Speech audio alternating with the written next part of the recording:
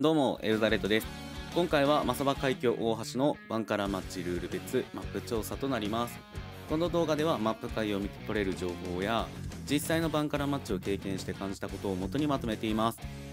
マップの向上や動きがわからない人向けとなっています。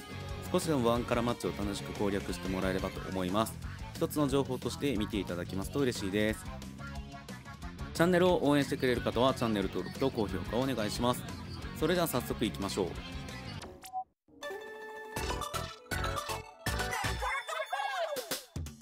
ガチエリアは遮蔽物を囲むように中央に1つだけ配置されています。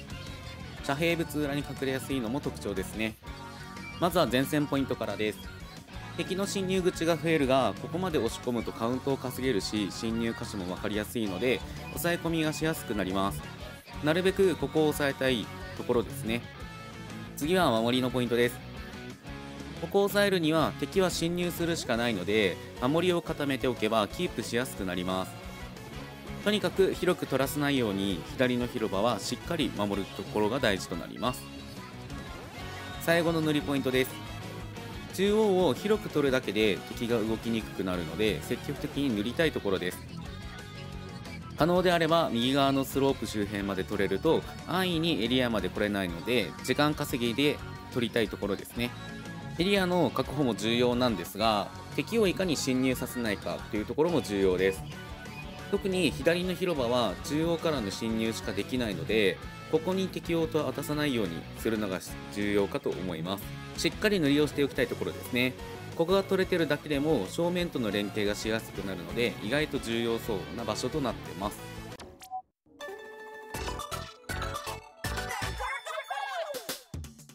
ガチヤガラは左からスロープを通って敵の高台に侵入していくルートになっています。ルートが敵より低い位置にあるので狙われやすいです。矢倉より先に前線を制圧する必要が出てきそうです。まずは前線ポイントからです。関門を突破するためにもここを常に押し込みたいところですね。矢倉が先行しやすいんですが矢倉より先に攻めて押し込む方が相手がきつくなるので押し込みつつ時間稼ぎをするという流れが一番いいかと思います。次は守りのポイントです。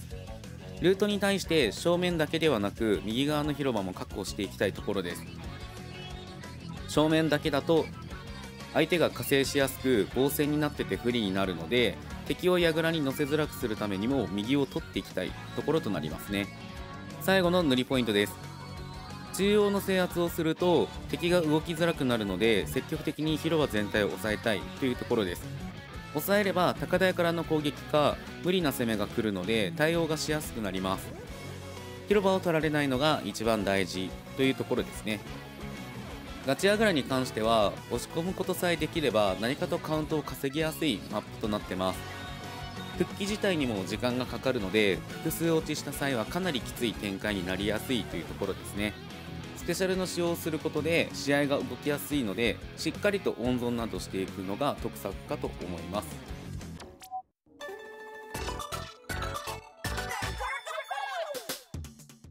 ガチホコは関門が1つでほぼまっすぐのルートとなっています。そのため防衛はしやすいのですが守るポイントがかぶるので巻き添えでみんなデスする可能性があるというマップになってます。まずはホコショットポイントからです。敵は高台から防衛してくることになるのでこちらもホコショットで敵の防衛ポイントを潰しておきたいというところですね。ルートも直線的なので進む先の高台に打つといいという感覚です。次は守りのポイントです。正面からだけではなく左側からも圧をかけて矛を挟めるようにしておくといいです。特に左側は取られると正面からしか対応ができなくなるのでしっかりと確保を意識したいところですね。最後に塗りポイントです。ここの侵入箇所を押さえつつ塗りを固めることで潜伏警戒やスペの確保にもつながるのでなるべく広範囲に塗っておきたいところです。敵に塗られると返しづらくなるので意識だけもしておくといいかと思います。ガチホコに関してはとにかく第一関門突破後からが勝負です。第一を抜けてしまうと直線的にルートを進むことになるのでカウントの進みがとても速く感じます。デスするくらいなら一旦引いてスペシャルで対処していくのがベストかもしれないですね。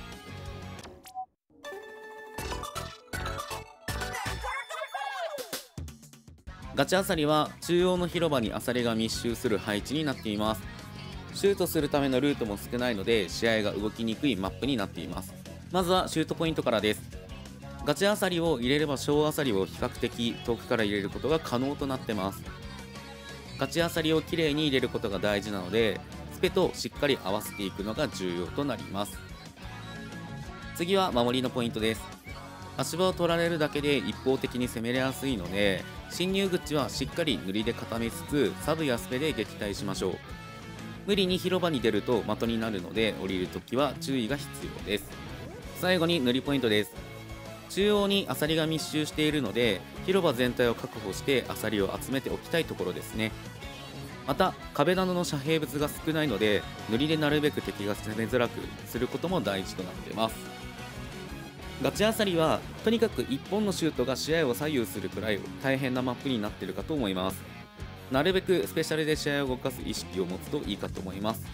またシュートに関してはイカロールを使えばテクニック的なシュートもできますのでこの辺りも調べてみるといいかと思います。いかがでしたでしょうか？マサバ海峡大橋は直線的に長いマップのためレスした時のリスクが高くなっています。ビーコンと変われば別ですが生存を意識しながら中央を取る必要があるためしっかり対策をしていきたいマップとなっています。ということでご視聴の方ありがとうございました。応援してくれる方はチャンネル登録と高評価をぜひよろしくお願いいたします。それではまた次回お会いしましょう。バイバイ。